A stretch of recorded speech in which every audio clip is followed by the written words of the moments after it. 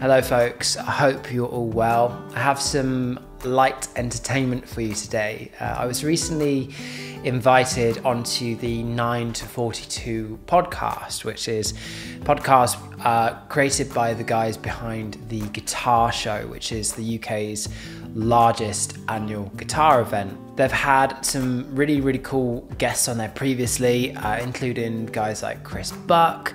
Phil X, Paul Stanley from Kiss, Misha Mansour, as well as a bunch of uh, gear manufacturers uh, like ThorpyFX, Rift Amps, Eastman Guitars, all sorts of cool stuff.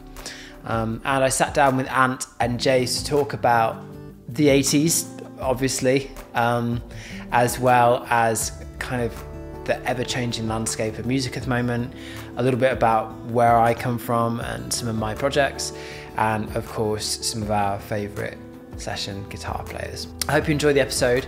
Uh, I really enjoyed sitting down with these guys, actually work with Jase at BIMM. So it was nice to hang in a non educational kind of setting. Um, and I implore you to check out some other episodes on the podcast because it's, it's really enjoyable listening. They're great guys, and I've been finding myself listening to it a lot um, in the car. So I hope you enjoy it. Uh, I will be back soon with another lesson for you guys. I'm glad you enjoyed the one on modes. I'm going to be doing like a little bit more theory stuff mixed in amongst all of the 80s sessiony stuff. Um, but enjoy the rest of your weekend, and I will see you soon. Bye bye. Our uh, our guest tonight is Rich Watson, and Rich is a session guitarist, uh, YouTuber, uh, purveyor of phenomenal knitwear, and I got it in with no kind of, you know, no kind of glitch there. Haven't got to edit it out. Um, but before we start and say hello to Rich, I I searched Rich Watson YouTube, put it into Google, right? Mm. Okay. And I wasn't aware that you had something on mudlarking and metal detecting. Because that's the first thing that comes up. How have you kept that quiet? I thought you were going to say the old blues guy that I think he's actually he, he might have actually passed away now. So uh, no, the the metal detecting is news to me as well. Yeah, you are the dead son of Doc Watson, uh, the bluegrass player, aren't you? You know, Spotify. I had some of my own music up on Spotify, and they kindly merged our catalogs together. so I went to log in one day, and um, suddenly I had access to all of Doc Watson's Spotify stats. yeah. Hmm. And did that Um, bring you a royalty check that went up from 73 pence to, you know, £1.12? Well, my conscience got the better of me, and I flagged it, um, which is perhaps a mistake. But yeah, yeah. No, I think you do right. Musicians need to stick together. Um, we we start. We'll start with our normal kind of uh, entry in, uh, and and actually on the day that effectively COVID is now finished, as far as as far as our government's concerned, how's how's COVID been for you? How's the lockdown been for you?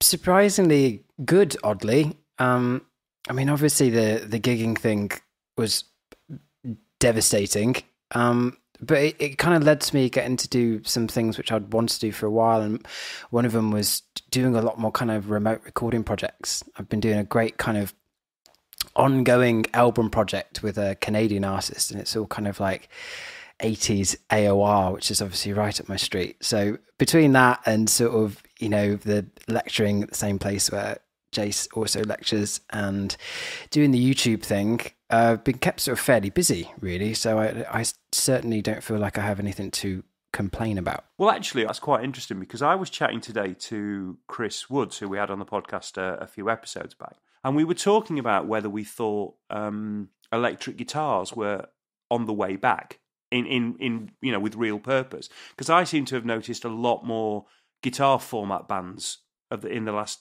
two or three years. Now you've just mentioned an AOR project, but but I am starting to hear that coming back. Am I imagining that, or is that is that a thing? No, you're not. You're not. Um, that that sound is coming back as well. There seems to be a bit of a resurgence within the guitar of that that 80s thing. It kind of became terribly uncool Yeah. in the early 90s, and it seems to be kind of making its way back around again. And I'm starting to see more and more rack systems popping back up, and a lot more chorus going on. So yeah, it probably is due for a little bit of a resurgence from that sort of decade, I guess. Well, um, and pointy headstocks as well. I'm starting to see a few more pointy headstocks around. I'm just relieved to see headstocks back, really. Oh right, well I'm not. So I'm not imagining it then. This is a this is a definitely a thing. It seems to be. Yeah, Right. it seems to be. Just at the point where I'm incapable of growing my hair again. it's it's coming back round. Oh, poor Ant. You, you Yeah. could grow it again. It just won't look like it did. No, it won't. No, it'll look like when Paul Weller grew his out. Oh, you look like your nan. Yeah. I could, I could see some kind of extension situation happening, perhaps. I think that's a phrase we ought to It might, leave behind. might, might be hospitalised, but um, I suppose that leads us into quite nicely, which is the thing that we really wanted to talk to about was session heroes. And and when I when I asked you if you want to do the podcast, and I said to you, you really confuse me because you're about twenty years younger, and you listen to all of that and replicate all of those sounds that were when I was a teenager, which let's be honest was quite a long time ago now.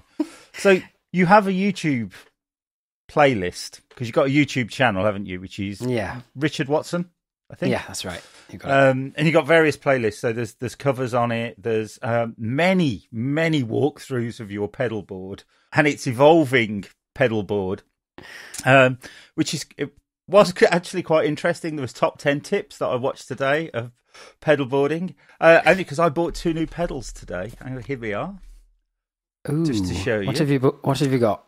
So I've got uh, uh, an acoustic preverb Fender pedal because I've got an Okay. acoustic gig coming up. So it's a preamp and a reverb pedal in one. Cool. And uh, I'm assuming you pronounce it Mooer. Yellow comp compression pedal to go on my new acoustic pedal board that I'm building. Very cool. Yeah. So anyway, enough about my purchases from today. um, yeah. So uh, session heroes. H- how? Why? What? Um, go. Okay. Um, yeah, I mean, uh, uh, it depends how, how far back do you want to go with this? Well, I watched a very, very young Rich Watson on episode one of Oh. Session Heroes, which looked like you were in a cupboard, frankly, recording it. Uh, but yeah, let's go go back to the start. Yeah, I mean, I'd um, I'd sort of become a bit fixated on those sorts of players for for a, a good kind of two or three years or so before I started doing it, and those videos were really just born out of frustration of not feeling like those guys were really. It's not even like they're not recognized exactly, but you really have to kind of like scratch around to find lots of information on them. You know, it's not Mm. kind of like localized to one place. And I, I just, I always felt like they were such an important part of the history of music. And it's not just the 80s guys, it go, this goes back to like the 60s. I just had this kind of overwhelming sort of sense that I just wanted to do something with it. I wanted to bring more people's attention to it. I wanted to teach more of the stuff, you know, um, because it's it, it's kind of like an era of music that's been like with me from the beginning, really. Um, so yeah, it, it's kind of it, it, it's something which is like evolved. I did I did the first episode just before I went out to LA for like a couple of weeks and actually got to go and see Michael Landau at the Baked Potato and see Scott Henderson and stuff like that. And then it's kind of become a bigger and bigger focus of the stuff that I will do online. And originally it was these kind of longer episodes where it give you like a bit of background about the player's life and how they got started and kind of picking up on a, a few kind of key highlights from their discography and demonstrating sounds, talking a bit about their rigs. And then it's kind of like, I don't know, I suppose it's diversified into uh, some more digestible stuff because most of those things are like 20 minutes of complete dorkery, basically. No, I found it. I found it quite interesting because I say because because it is the kind of the music of my teenage years. I'm aware of them. I think because you know I bought guitar magazines in the eighties and they were featured. Like you say, no one talks about them now, but they certainly did then, sort Mm. of thing. But it just uh, to me, it just seems so incredibly out of touch. I suppose at the time because that rack gear would have cost thousands, and I was scratching around with a little uh, solid state Fender amp, which is what I was gigging with, and it, it it just. I think it is really interesting. It's a really interesting part of the guitar's development over the last, well, certainly that decade, but probably the the mid to late seventies through to uh, Nirvana, basically, isn't it? Mm. Yeah, sonic, sonically for sure, it was definitely like a, a, a moment. It's it's so it's so recognizable and it's sort of dated quite quickly and then has come sort of back around. Mm. Um, but I mean, the the sound is only really like a part of it. The whole the whole session musician thing. I mean, those those guys actually, you know, people were aware of how much they were doing. Um, people like Lukather and the the Porcaro brothers, it was well known. You know, they were playing on everybody's records. But, but before that, the sort of the generations before, um, session musicians were really kind of like hidden away. If we're talking about like um, the Wrecking Crew, which is in like the '60s, those guys were were regularly flown in to sort of um, basically you know play on things like uh, the Beach Boys records or um, you know the Righteous Brothers or Sonny and Cher, and uh, and majority of the time they they weren't credited for their work at all. They weren't even on the you know the the album credits. Um, and it's kind of like every decade has has its own group of guys. It started off, I mean, sort of Tommy Tedesco and Glen Campbell. They were the first kind of rock star session musicians, really. Before that, it was really kind of the whole the whole job was confined more to like readers and jazzers, and it's kind of you turn up, you play what's written, and then you go home. It was quite kind of um, stuffy, and people like Glen Campbell, uh, they were the first generation who who had to they they they brought their kind of contemporary edge to the studio with them, and they they wrote loads of stuff in the studio. So rather than reading what was presented to them, they would be interpreting and bringing in their kind of contemporary rock and roll edge to this music. So it, it really kind of started with those guys, and then you saw people like uh, Larry Carlton in the seventies playing on Steely Dan records. And so, you know, by the time we get to the 80s guys, it's almost like third third generation almost, you know, Steve Lukather, Michael Landau, Dann Huff, all those dudes.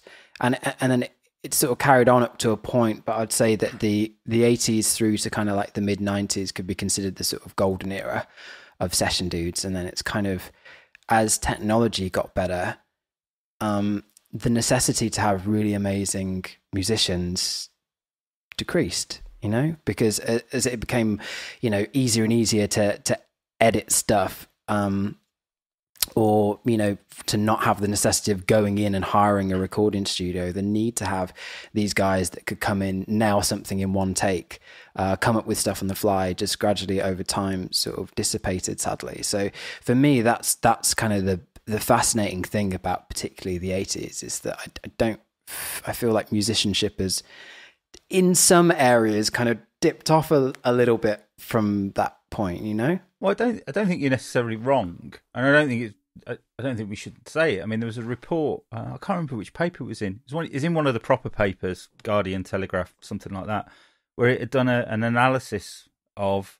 Oh, are we saying the Telegraph's a proper paper, or is it just a big Yeah. paper? It's a big paper. It's not a red top. That's fine. Just, just, just, just. Sorry. Carry on. Yeah, and they'd done an analysis of the complexity of music and the, the basically the cliff that it's fallen off in the last Mm. sort of like 10, 15 years, particularly that we're now getting down to, you know, a repeating two, three note pattern, and that is it. So Mm. there's no real need to hire a Lukather to come along and play on something where it is literally chink, chink, chink. Mm. You know, pretty much anybody can do that. They're sort of like the piano parts that I record when I'm demoing up stuff, you know. you, you can move them around because they're MIDI and stuff, you know, it's fine. Um, So it's, I think it's, it's partly the, the, the, the no need to hire a recording studio, but I also think it's the, the, the way that music's gone and maybe music is going to become more p- complex again, hopefully Mm. in the future. Do you think there's something in the fact that through that decade, guitarists who potentially would have been session players before actually became recognized as guitar players? That actually the fact that, you know, the, the likes of you know, be it Satriani's or Vais or what have you, guitar talented guitar players were being recognised as talented guitar players. So maybe these players might have gone under the radar a decade earlier. Yeah, but they but they were actually being talked about. They were being interviewed. That their influence was being recognised. You probably um, see it um, with the rise of the guitar magazine, though, as well. I mean, I'm not sure there were any guitar magazines in the 70s. Mm. There might have been like practicing musician or something like that, but I'm fairly uh, certain uh, things like guitarist and guitar world started in the 80s, and of course they need something and people to write about. Yeah. Uh, and and the guitar was in everything as well. I mean, you, obviously you had so many great rock bands in the 80s, but it found its way into most pop music. Most pop artists had a had a kind of rock phase, whether it's like Stevie Nicks or obviously Michael mm. Jackson or whoever. It was really kind of center stage. So yeah, I think it did bring those guys to forefront a little bit more, and then it kind of uh, guitar virtuosity became uncool again. You know, yeah, with with grunge, and then we see it sort of fade a bit. And these guys also started doing lots of tuition videos. You know, they, they, it all became, but but I guess the point being that, as I say, they were being seen in different places in a way they'd probably never been seen, be, you know, never been seen before. Mm.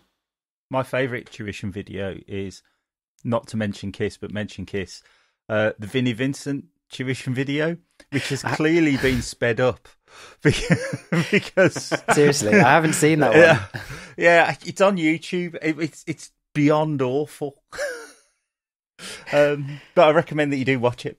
The uh, the the Frank Gambale ones are always a personal favourite, not because of the content, but just because of his wardrobe choices. It's just un, un, unparalleledly bad dress sense. Incredible.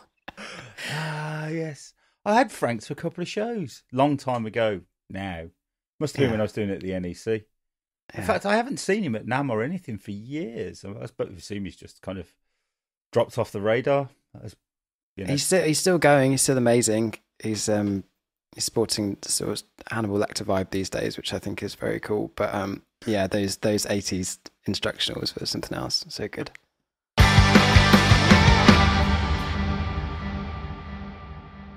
So, what got you into this? What was the that's that spark for you?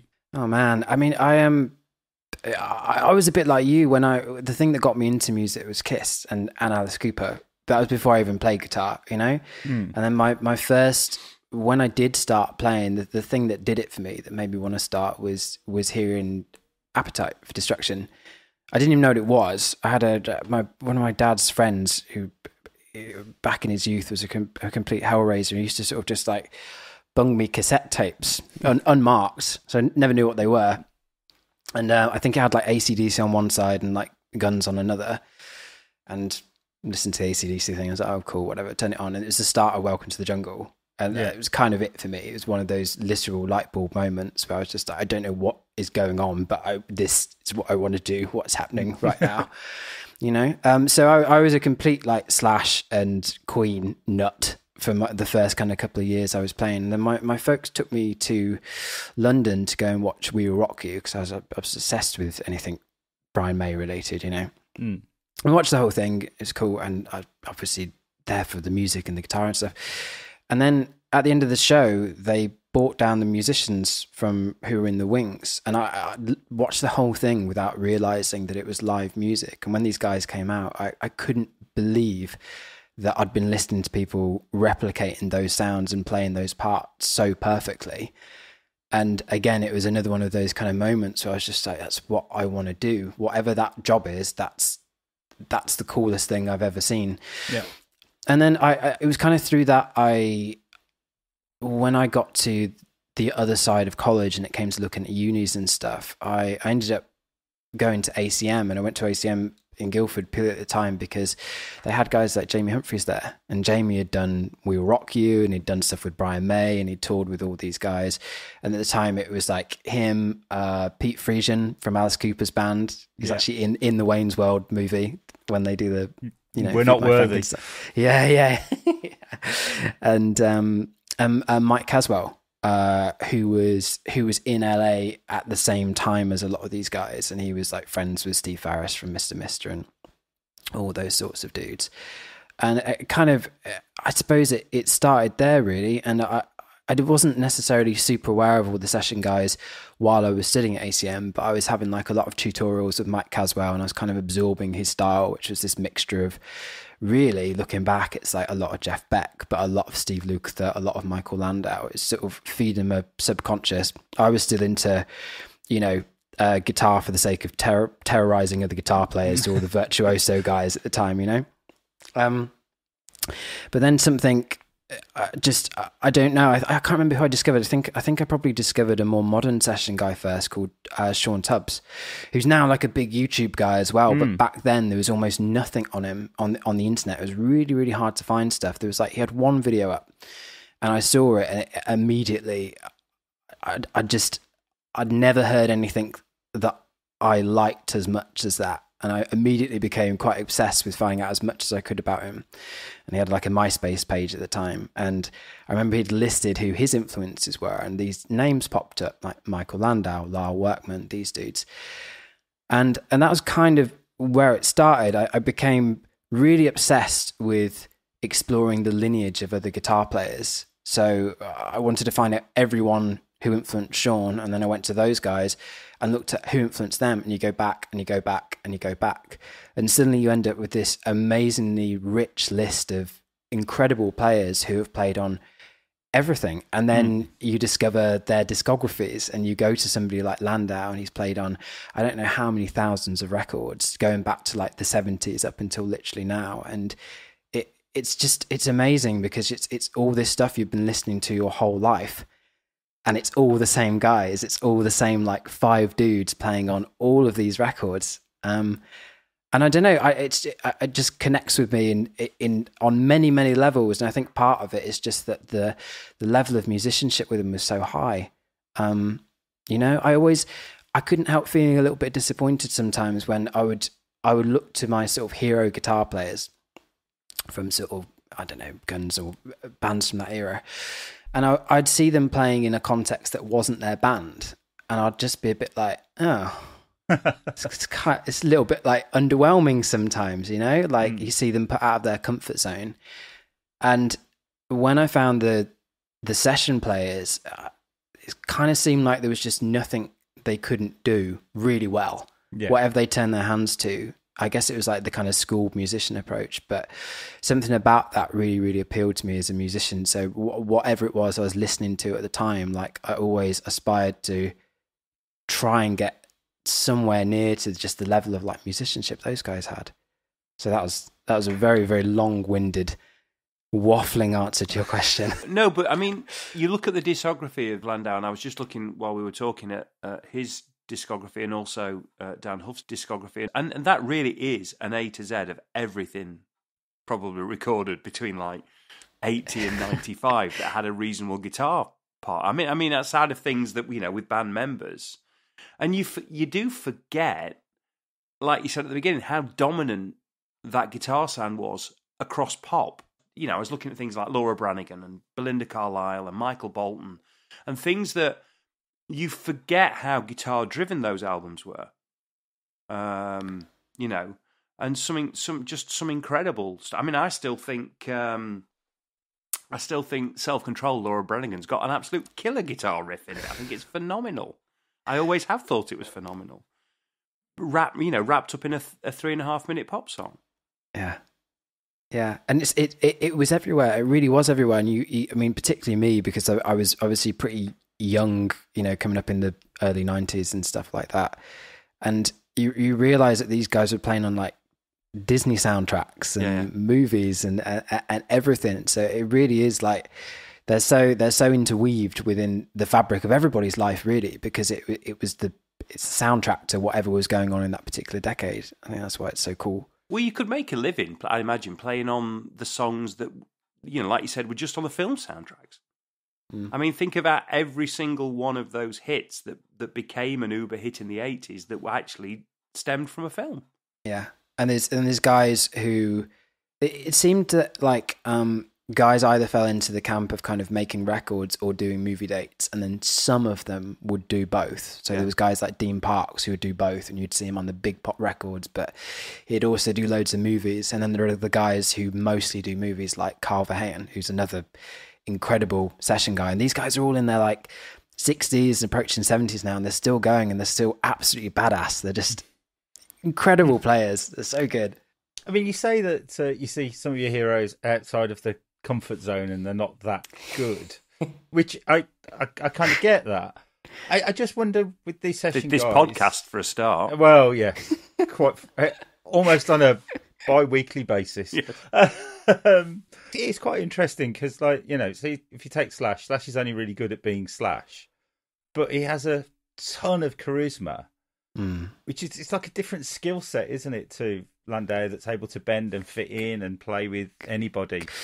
But no one wants to see him with a top hat on, swagger to the front of the stage, and play "Sweet Child of Mine." Yeah, completely. And it's it it's it and it's absolutely not to undermine the importance of any of those guys because they it was their sound. Like of course, Slash's thing is that he sounds like Slash, but man, what a thing to sound like, and what a what a writer. You know, it doesn't it doesn't take a thing away from what those guys do within their own context. It's just as amazing.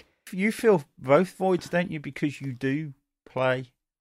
And, you know, I was looking at pictures of Landau earlier and I was like, man, he looks like he shops at Primark. Um, and, and you don't. You kind of get that aesthetic thing as well. Are, are you kind of like torn on this this path of Oh man, I, session I was performer, I was- session performer? I was so torn about it. I had a like a I gave myself a really hard time about it um, over the course of a couple of years, where I was really struggling to figure out where where I lived with this because the, the, it's two separate halves of your brain. Because I, I was really attracted to the musicianship of these session guys, but at the same time, nothing makes me feel anything more than listening to like Nine Inch Nails or like Jeff Buckley or you know any of those amazing like 90s acts. So yeah i had a real kind of sp- split personality kind of thing about that. And I, d- I don't know at what point it sort of settled but uh, certainly now like i feel really lucky to be able to have this which is kind of my hobby and my like practice and this is the sort of stuff that I would sit down and work on by myself and transcribe things for hours and whatever. But also I've always managed to keep up with having a band or being in a band or playing Mm. for other people's bands you know? Um, and to be fair like a lot of those guys did as well. They had their own things going on on the side and a lot of them ended up drifting away from sessions because it became too much of the too samey you know the same the same things same progressions. And even like Landau ended up having some like really intense sounding uh semi like grunge meet Steve Ray Vaughan project in the 90s called Raging Honkies. So yeah yeah it's but it's almost like different it's different muscles or different sides of your brain or something. It, it, it's different uh, it's hard to explain. Do you think this is part of the fact that almost for any given era, any given generation, that you need some form of factory to kick pop out in quantity?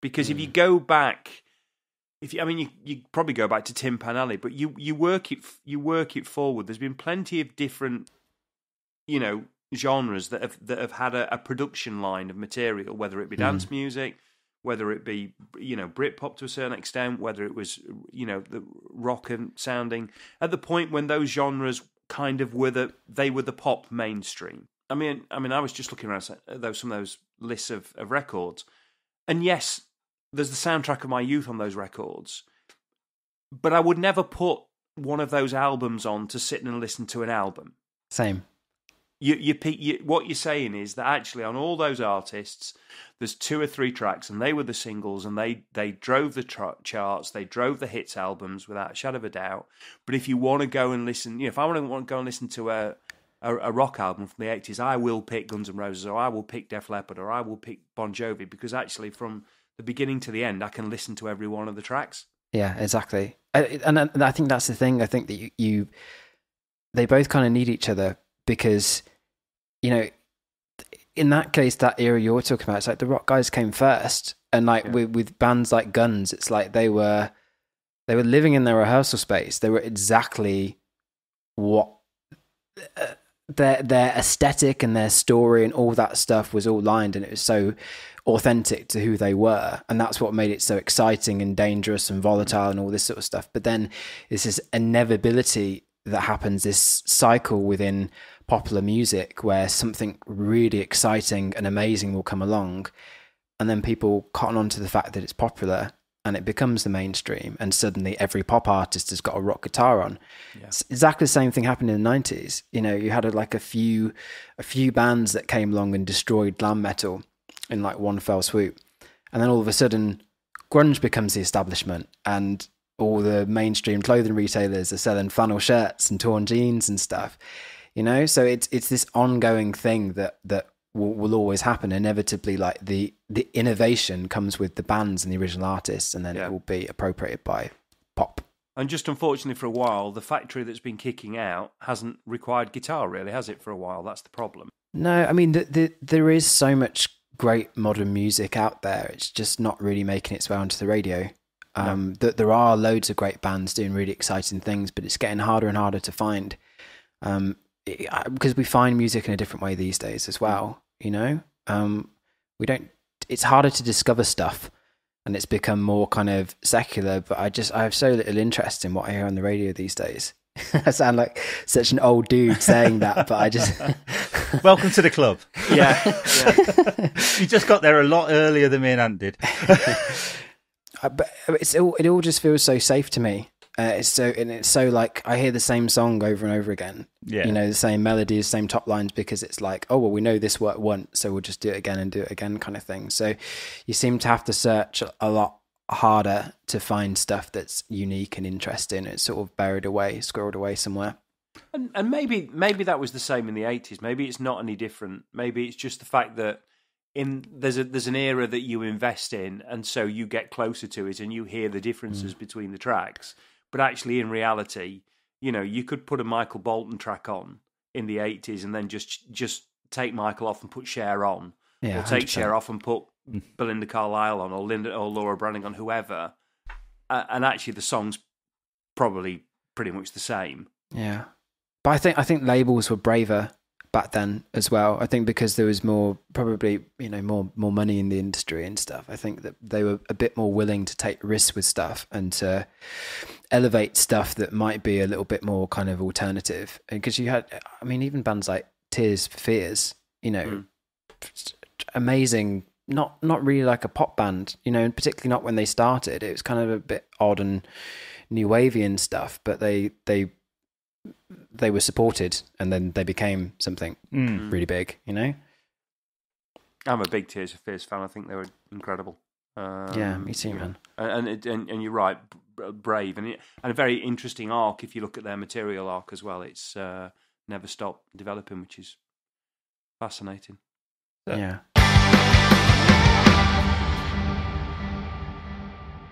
So it kind of leads us onto your own sort of like music of which there are many strands. I I think. Um, I mean, uh, what is it? Deadwood music. Is is is that one of it? Was it Ghosts? That horrific video that you did, which is brilliant, but truly harrowing, harrowing. yeah, video. My, my my poor mum cried when I showed her that. yeah, um, yeah, yeah. Um, I mean, Ghosts was was my thing. That was my like. Um, I don't think I can use the word solo project without wincing, but um, it was just it was just me really. I, I I sat and wrote an album by myself, and then I got a couple of my friends who are really great drummers to come in and do that, and then I did everything else, and I did the guitars and synths and keyboards and vocals and stuff, and that's kind of that.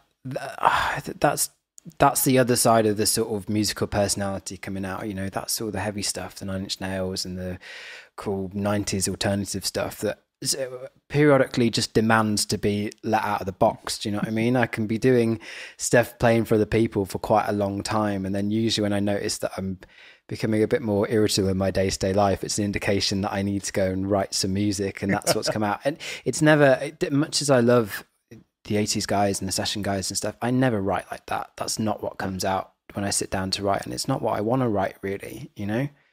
Um. So yeah, that that's that's my thing. Um.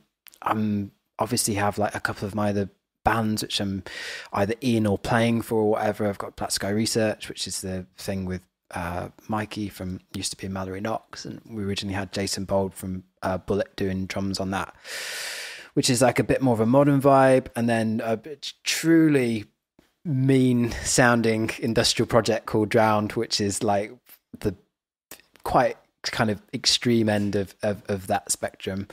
Um, but yeah, I, I, mean, I couldn't I couldn't do any one of those things all the time. You know what I mean? If if I was mm. chugging and throwing myself around and doing that stuff all the time, I'd start to become musically frustrated because I'd feel like I wasn't challenged enough. And at the same time, I need that stuff from like an artistic output. So it's it's just balancing it and sort of spinning the plates really. Did you did you tour Ghosts? we started, and then the pandemic happened. Uh, yeah, we'd we we it'd been incubated for like a couple of years while I was just writing stuff, and um, I'd done I'd, I'd, I'd been doing it through music videos and stuff. I think I'd done about four before I even put a band together around it. And then we did put a band together, and we did start going out and playing it live, and then at the literally, I think it was the week that I released the album because it had been set up in advance through AWOL and stuff. I think that's when we had our first lockdown. I was like, oh well, that's that then, because it's like you know the world's falling into chaos, and you're just like, hey guys, I uh, got an album, got an album out. Hi. it, I mean, it's interesting. You know, the people we've spoken to that you know have got projects that had been held yeah. Oh, mm. oh, particularly over the first sort of lockdown, they were like, "Oh, we'll just delay them and put them out later in the year." Mm. And then you know we we career into lockdowns two, lockdowns three, and all of a sudden albums start kind of seeping out. And I suppose because artists have been sat at home and they've written the follow up and potentially the follow up to that in this period of time, it's kind of like, oh, I just need to get this stuff out, really. And I think in some cases it's worked quite well. I mean, there's been a lot of lockdown gigs and and so on done. Is, did you consider doing anything like that? It was just used as a a period to incubate certain projects. Really, I mean, the the stuff that we probably did most with in that period was with Black Sky Research, where we went and wrote and recorded the whole of like our first EP, which we put out, and then we started writing the second EP, and then we filmed a whole like uh, pro shot live set in Vada Studios and their big like church looking live room. So we, yeah, we, we kind of the same thing. We amassed like a lot of material in that time, which we're now sort of sitting on, and you know it'll be released sort of gradually. But I mean, f- from that perspective, it was like a really nice period. It was, and, and I don't think we'll probably ever experience anything like that again, where actually something disrupts your normal way of life entirely to the point where you actually can stop and have a quick look at your life. And I, in that period, I also stopped doing lots of stuff because when you can kind of hop off the merry-go-round, um, you can kind of reassess and go, well, am I doing exactly what I want to be doing? Or is there some stuff that I've just got into the habit of doing all the time because that's what you do? You're a musician, you're mm. busy all the time, you know? So from that from that perspective, it was a really nice, interesting period because I was able to step back from some of the things that I just I you know, almost on the verge of burnout with how much I was gigging and stuff. And actually made a conscious decision to just refocus on doing the sort of music that I really love doing. And that's when these projects started, you know, doing more. Similar thing with you though, right? Because you, your your solo stuff is now starting to be gigged, and you've been recording stuff on the down low. So you've kind of had like a similar sort of. Seems like it's happened in the same period. Uh, yeah. I mean, I'd done an album prior to lockdown. Mm-hmm. Um, I, basically, I, I, I was in a band, and the band kind of split up, and I kicked around for eighteen months, going, got all these songs. What do I do? And um, just went in and recorded them. Got three mates in to, to, that weren't in the band with me, um, and, and really enjoyed that. It, honestly loved the kind of they don't play my kind of music. So whatever they bought was completely different. Whereas previously the guitarist would say, "Oh, I'm playing it like that because I know you like that band," and it's like, yeah, I do like that band, but I don't necessarily want my own stuff to sound like that band. what we end up then is being a copy of that band because I've Yeah. taken the songwriting influences, but you know, so I work with different musicians, completely different music tastes. I really loved working with the drummer. That when I went, mm, I don't really like that drum beat. He he went, oh, okay, how about this one? Whereas when you've been in a band in the past and you said to the drummer, I don't like that drum beat, the drummer's initial response is always, I don't like your fucking song. You know, and it was so nice to deal with someone who went, oh, okay, how about this one? Um, and and then that kind of that kind of sat, and uh, I did the the classic thing of I got 30, uh, 50 CDs pressed because that was the minimum. Um, I've still got about twenty of them in a box somewhere. um, and then I just started writing some more, and it's been it's been very much a kind of piecemeal. I recorded two or three songs in between lockdowns, two and three, sort of thing. I, I did one a couple of weeks ago. I'm in on Sunday to do another one, um, and and I kind of I suppose the point is I collect them all up, and I've I've got five that are recorded now, so I put do those in as an EP, and then do another five, and then just stick it together in, and actually get some more CDs pressed because I'm old and I like CDs, um, because I listen to CDs in the car all the time, uh, and I like them, and I like owning a product. Um, it, but it has been really, it's been kind of interesting. I lost a lot of mojo for writing towards the end of the lockdowns. I was just kind of like, Mm. what is the point? You know, I seem to be flogging myself to death over the university work that I do because that was so intense Yeah. um, over lockdown and didn't do anything for the guitar show. And then I think, uh, in all honesty, um, I wouldn't, I wouldn't even consider it depression. I just got really quite low with the Mm. guitar show, and it just kind of sucked all the joy of the guitar out of it. I read a lot of books about guitarists and guitars, but didn't play very much. You can be, easily become oversaturated in it, can't you? When Mm. when that's particularly, I think for you, that's such like a big part of your year. Yeah, So you're thinking about it all the time and liaising with these people all the time, you know? So I, I can completely understand that. I think also like, you know, you you need to have new stimulus and new experiences to prompt you into writing. Sometimes you need to be just pushed in a com- completely different kind of headspace in order to do it. Do you know what kind of got me going recently? Um, I just read um, Bob Dylan's um, Chronicles Volume One, Okay. and it was, uh, it's just an amazing book. I mean, it's the most random autobiography you've ever read. Like starts, I don't know, three years into a, his career, then then the next chapter's like ten years into a career, then the next chapter's another ten years on, then the next chapter's the start of his career. It's just, it's not linear. Mm. They're just kind of stories, and I, I and I really like Bob Dylan, but I only really like a period of Bob Dylan. Um, but I just found it, I don't know, just found it, it gave me a little kick. You know, I mean, the bloke's written like thousands of songs. I've written maybe 150, of which 20 are all right. uh, I mean, I'm sure he's written thousands and thousands that were terrible as well. But, you know, it's Bob Dylan, maybe not. Um, but that's kind of got me started. And having COVID a couple of weeks ago, um, which in the whole of this pandemic was the first time I'd actually stopped. Mm. Um because I was like, my brain didn't work properly. Um, I had really disrupted sleep as well, um, which was the, the only real side effect that I got. Mm. That I found myself sat here at um, 3 a.m. writing lyrics. Uh, I have no idea why. Um, but if that's one of the side effects of uh, my COVID, um, that's not too bad, right? I wish that was on my side effects. I just had a headache. Uh, yeah. D- I, yeah, I mean, I did have a headache for the first day, like pounding, terrible headache for the first day, um, and then it was just weird sleep patterns. So pff, I don't know, you know, could have been much, much worse. But you know, I'm triple jabbed. Um, I'm relatively healthy, so you know, not the worst thing in the world. No. So, Rich, what's what's next?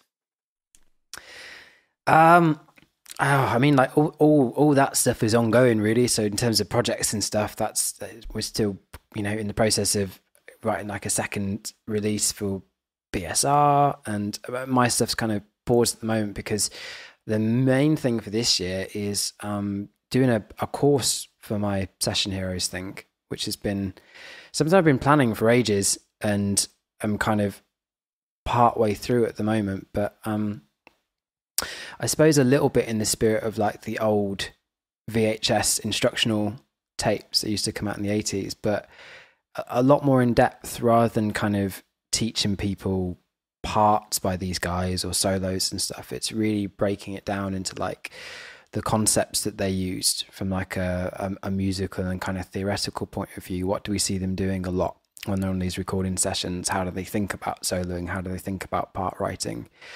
And trying to sort of, I suppose, teach it to people in a way where they, they can apply it to their own stuff, you know? Because it's it's cool. It's cool teaching people how to play a solo they love. That's fine, but it's not always super malleable in terms of great they can play that thing but can you can you take those ideas and can you put them into lots of different contexts can you use it when you're improvising so yeah that's that's kind of going to be my my summer project um really i've i've already kind of got most of it written um it's going to be like 20 different concepts i've got uh three full tracks written in slightly different styles of like 80s pop session stuff i've got um Magic Martin Johnson um, playing on the drum backing track.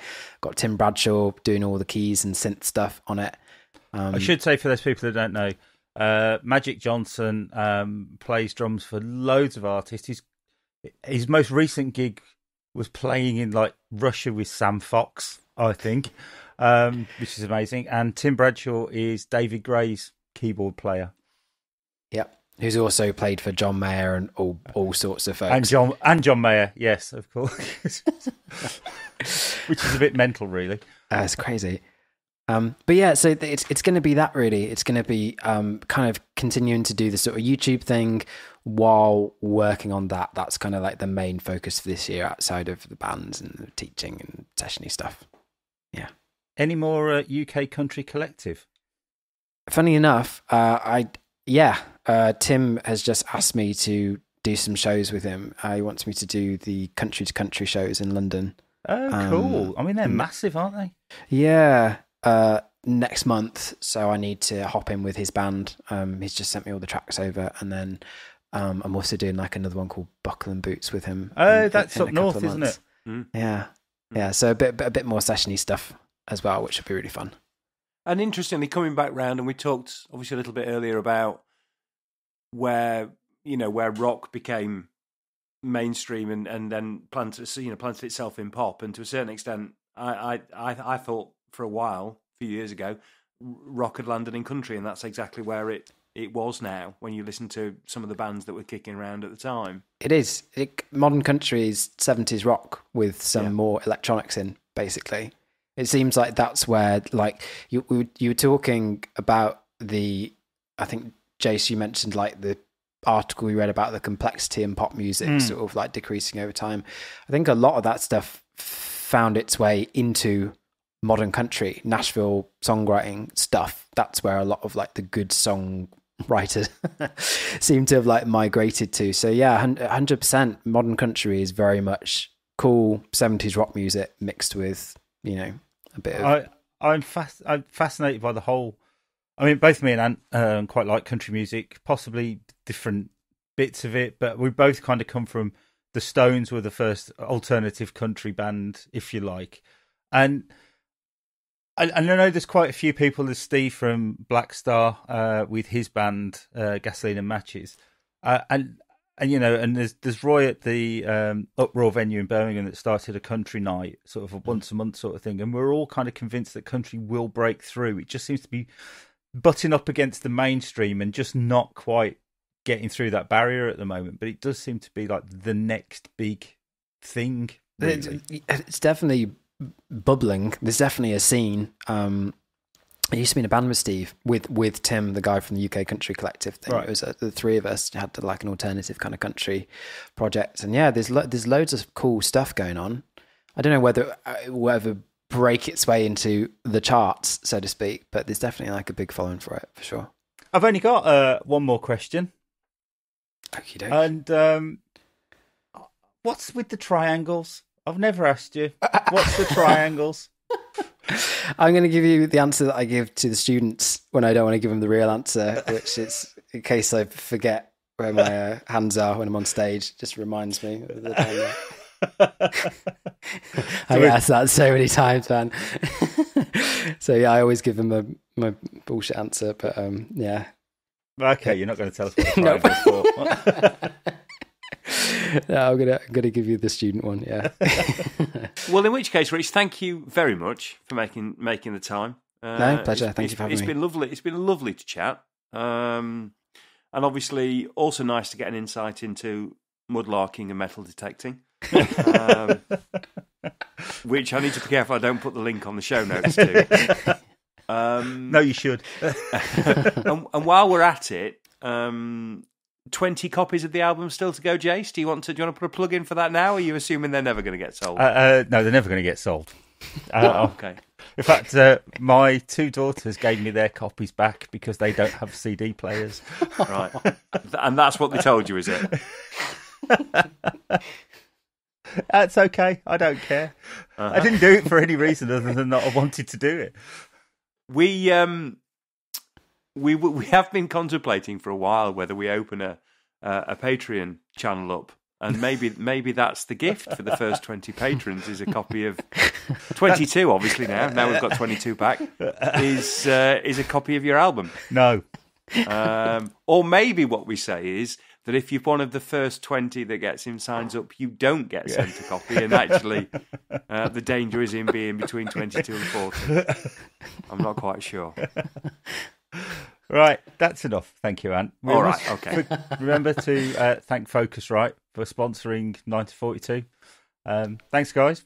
Currently Yes, using a 2i2 right here, right now. Right here, right now. Do you use Focusrite gear at all, Rich? uh, I I- I don't have any at the moment. No, I don't actually. Sadly. Okay, well, I'll, I'll edit that out then.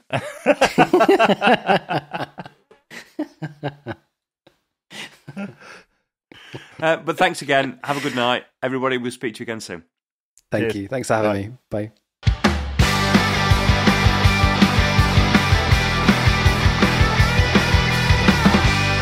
Thanks for listening to 9 to 42, the podcast from the team at the Guitar Show UK. If you've enjoyed the show, then please remember to hit the subscribe button and share with other like minded souls.